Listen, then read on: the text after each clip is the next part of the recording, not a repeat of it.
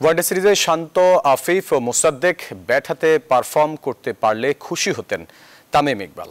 West ইন্ডিজের বিপক্ষে তিন ম্যাচ সিরিজের শেষ ম্যাচে চার উইকেটে জিতে তাদের হোয়াইট ওয়াশ করার পর তামিম বলেন, সাকিব মুশফিক ফিরলেই দল থেকে দুইজনকে সরে যেতে হবে। হ্যাপি হইতাম যদি মুসাদ্দেক বা আফিফ খেলাটা শেষ করে আসতো। বাট আপনার যদি মনে থাকে ফার্স্ট প্রেস কনফারেন্সে আমি একটা কথা বলেছিলাম প্রবলি সেকেন্ড প্রেস কনফারেন্সে যেটা হলো আপনি দেখেন সাকিব মুশফিক এরা কিন্তু ফিরবে এই সিরিজ না হোক পরের সিরিজ না হোক তারপরে সিরিজ আসবে। তো যখন ওরা ফিরবে তখন কিন্তু দুইজনকে এখান থেকে বের হয়ে যেত যদি সোনার এক্সাম্পল দেখেন আপনি।